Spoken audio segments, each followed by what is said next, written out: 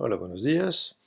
Estamos hablando de los territorios desigualmente integrados en la globalización y más precisamente hablamos de los territorios que impulsan este famoso proceso de interconexión a nivel global.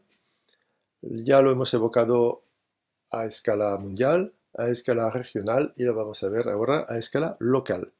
Es decir, dentro estamos aquí dentro eh, estamos aquí dentro de una ciudad, por ejemplo, eh, observamos barrios y hasta edificios, como lo vamos a ver. Estos barrios claves para la globalización, estos centros, son, y son muy simbólicos de la globalización, los barrios de negocios.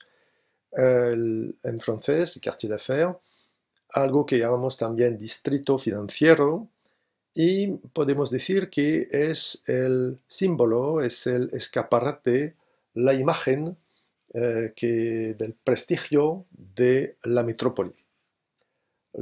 Se conocen en el mundo entero, aquí tenemos una muy famosa, antes había dos torres, eh, antes del 11 de septiembre de 2001, ahora solo hay una y estamos por supuesto en Manhattan, en Nueva York notamos que lo que distingue a un barrio de negocios es la presencia de rascacielos, porque los rascacielos son símbolo de la potencia de la ciudad, del barrio y también de las empresas que eh, las hacen construir, que los hacen construir y que los utilizan como eh, sede, sede, central.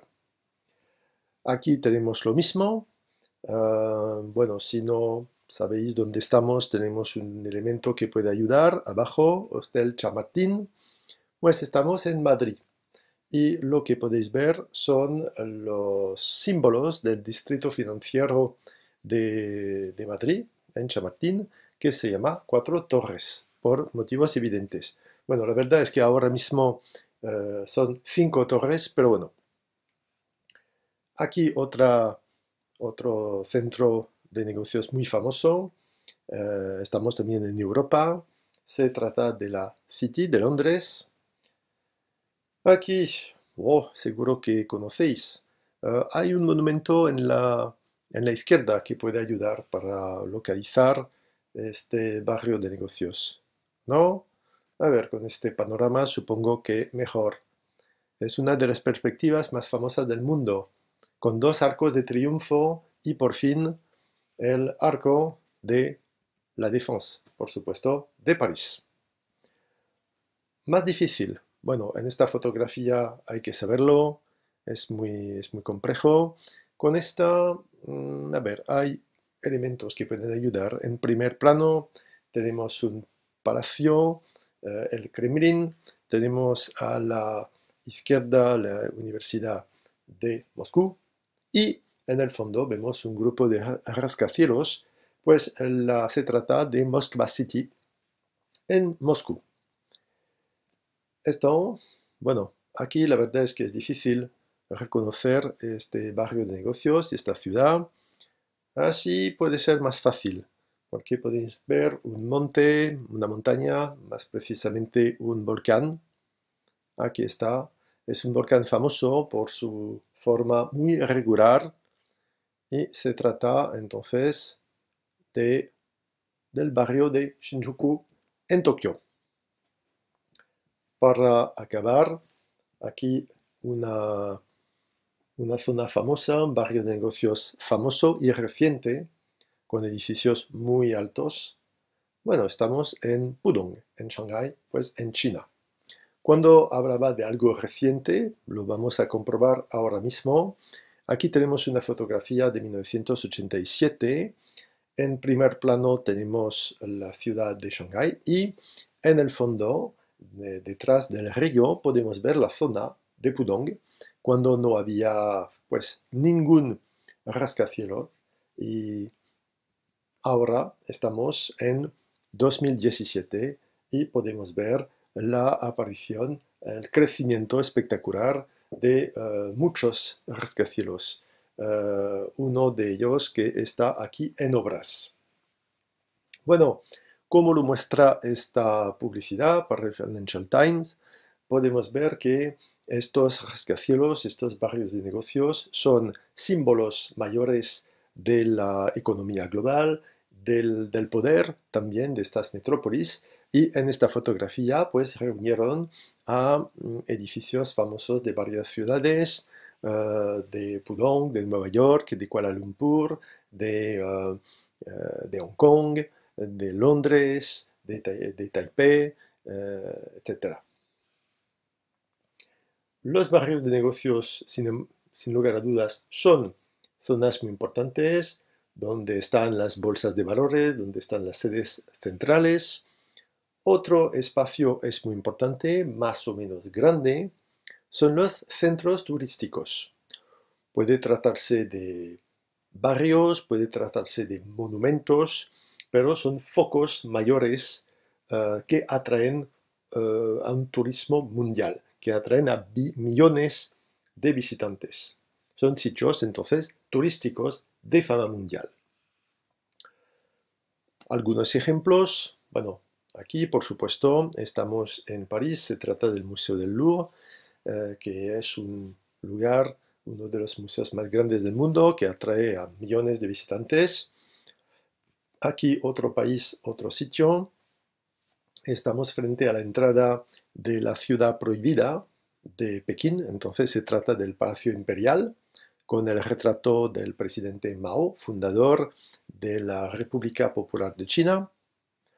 Aquí el famoso eh, Taj Mahal eh, es un lugar mm, famoso del norte de India, en Agra. Eh, es un lugar famosísimo porque es la tumba construida para su esposa preferida por un emperador musulmán de India. Pero hay también un turismo que es importante. Aquí estamos hablando del turismo, bueno, del turismo cultural. Por supuesto, tenemos también el turismo de playas, el turismo eh, eh, de, camino en, la, naturaleza, pero tenemos también el turismo de congresos. Eh, es decir, que tenemos ciudades que tienen la capacidad de atraer a convenciones es decir, reuniones de científicos, empresarios, intelectuales, a veces del mundo entero. Y algunas ciudades tienen una capacidad importante, son centros de convenciones. Es lo que pasa con Madrid. Aquí tenemos el Palacio de Congresos de Madrid, la, parte exterior, eh, decorada con eh, motivos de Miro. Y aquí estamos en el equivalente, pero en Londres, es el Congress Center de Londres pues estas ciudades tienen la capacidad de acoger entonces estos acontecimientos eh, globales eh, que son muy importantes. Bueno, ahora con, el, con la pandemia pues no, pero en situación normal a estas ciudades con esta capacidad de centro de convención atraen mucho, atraen mucho. un lugar un poco especial eh, que es un centro de turismo con mucha ambición, que quiere volverse centro de turismo mundial en el ámbito del lujo, del turismo de gran lujo, pues estamos aquí en Dubái. Eh, lo podemos reconocer por eh, la forma de, aquí la forma de Pan Jumeirah, también el mundo, un conjunto de islas artificiales que podemos observar en la parte derecha. Em, tenemos también un conjunto de eh, rascacielos en la parte baja, a la izquierda. Se trata de Dubai Marina. Bueno, aquí tenemos una ciudad construida como centro de ocio, pero como centro de ocio de gran lujo. Aquí está el plan que presenta la totalidad del proyecto, porque lo que vemos, eh, lo que vemos aquí eh, sobre todo eh, en puntillas, bueno, son zonas que no se construyeron, que estaban proyectadas. Palm por ejemplo, no se construyó. el mundo más o menos se abandonó en parte. tenemos la construcción de Palm Jeberali que se está haciendo ahora mismo. Para Waterfront se, se interrumpió. Bueno, es un proyecto con mucha ambición que sufrió la crisis de 2008, pero que sigue progresando poco a poco. eh, en la base de Pan, Jumeira podemos ver Dubai Marina. Eh, aquí tenemos un conjunto de residencias y también pues una marina para dejar los eh, yates. eso da una idea bastante precisa del lujo que podemos tener en esta ciudad. Un video me parece interesante para ver la evolución, la, evolución, la ambición y, la, el crecimiento muy rápido de Dubái. Ah, todo empieza en 1960.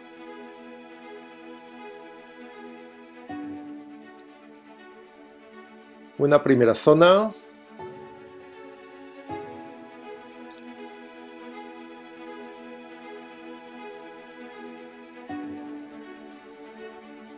Un puerto que permite atraer portacontenedores parque de inversiones para negocios. Crece el aeropuerto. Aparecen hoteles de gran lujo, con uno famosísimo, el Burj Arab, en forma de vela. Otra vez extensión del aeropuerto.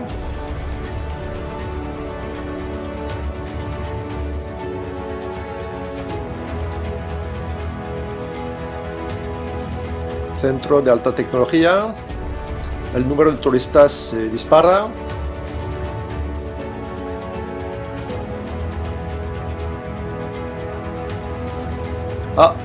Un barrio de negocios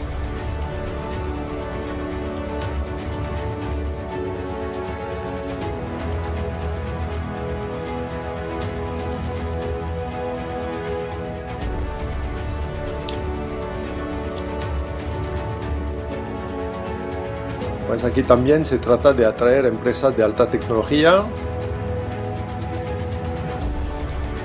El famoso centro comercial con pista de esquí.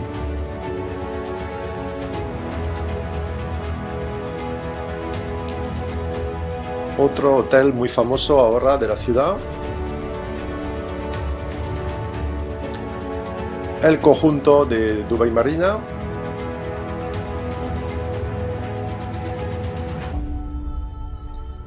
otro centro comercial,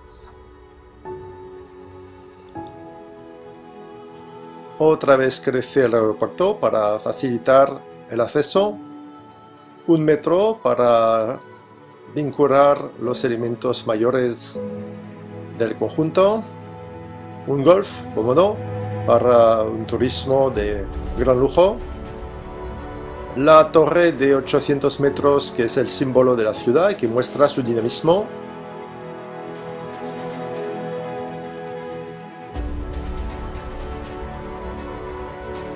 un nuevo aeropuerto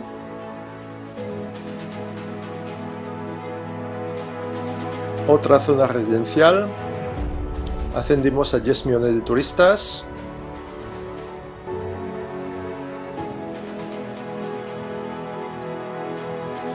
Un centro de diseño.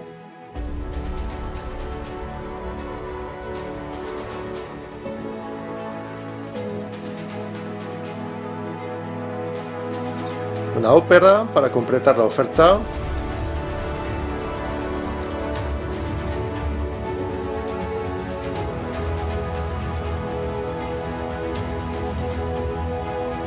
Y aquí entramos en las, en las obras. Estos edificios en azul se están realizando.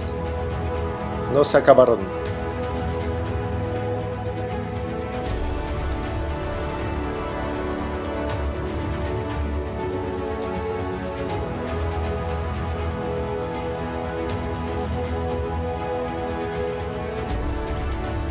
pues se nota que a pesar de la crisis de 2008, los negocios eh, se reanudaron. Aquí tenemos el lugar previsto para la exposición universal de Dubai, atrasada por la pandemia, como se puede imaginar.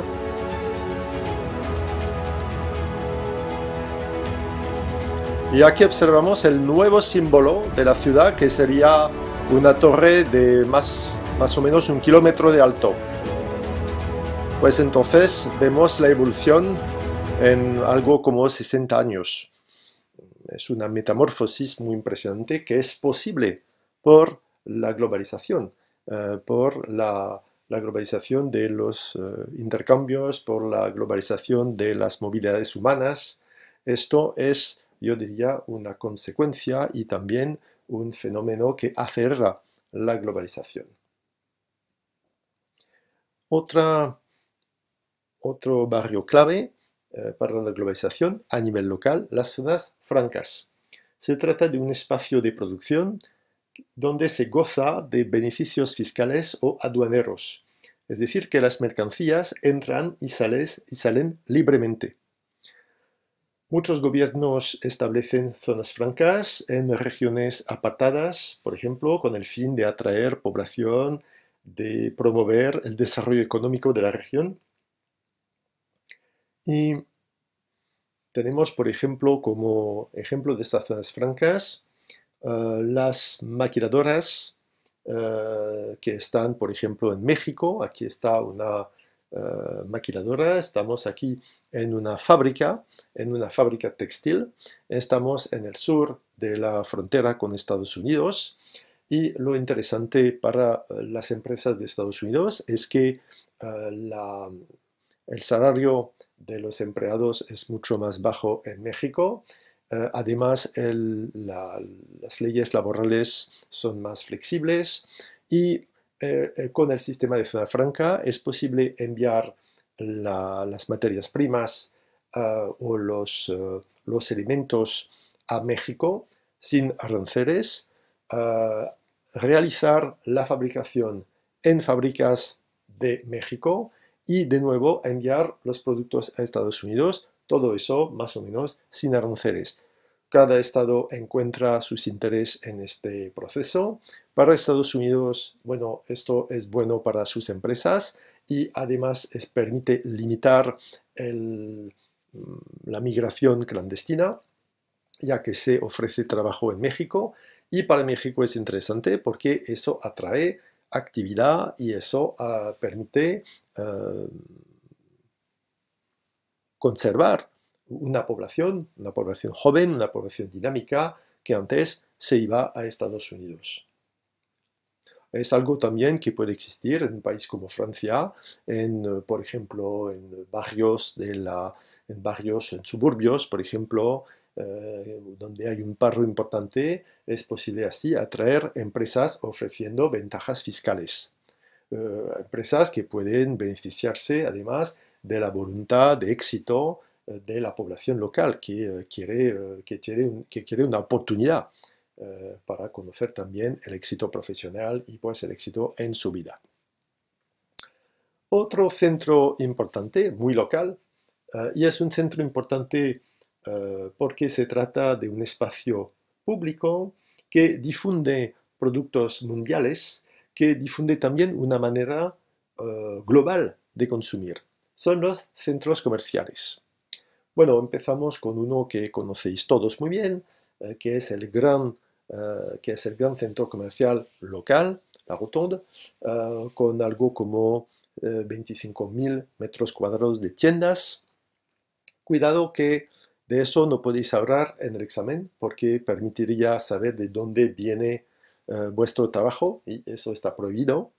Pero podéis hablar de otros centros comerciales. Podéis hablar, por ejemplo, de este, eh, que es mm, muy grande, muy espectacular. Aquí lo vemos desde fuera.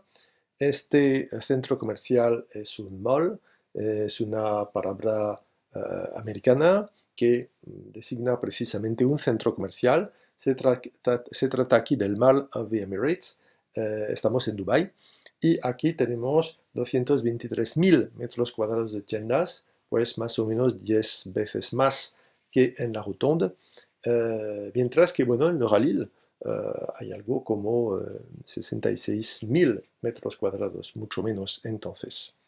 dentro de este centro comercial cuando estamos en una zona donde la temperatura puede alcanzar eh, los 40 grados, pero eh, dentro es posible ir a hacer esquí, eh, como lo vemos aquí, poco importa la temporada. Esto es impresionante. representa un, despilfarro increíble de energía y un lujo bastante casi impensable, pero la verdad es que existe en otros lugares, como Madrid, por ejemplo, donde está un centro comercial que se llama Xanadu, aquí está, y este centro comercial también alberga eh, una pista de esquí, una pista de nieve. Eh, lo vemos aquí. Así que, bueno, eh, es algo que no solo existe en Dubái, se difunde y eso ilustra, me parece, precisamente esta manera globalizada de consumir, de construir y de pensar los socios. Encontramos, pues, los centros de impulso de la globalización a todas escalas, nacional, con la tríada y países emergentes, regional, con interfaces, local, con la metrópoli, hasta la escala del barrio, y eh, perfilan una geografía de la globalización que evoluciona sin cesar. Después de los centros, tenemos que evocar las periferias, los territorios periféricos, y eh, los espacios marginados. Después de los centros, las periferias y también los espacios que parecen olvidados por la globalización. Pero eso es el tema de otro video. Se acabó la misa por hoy. Gracias.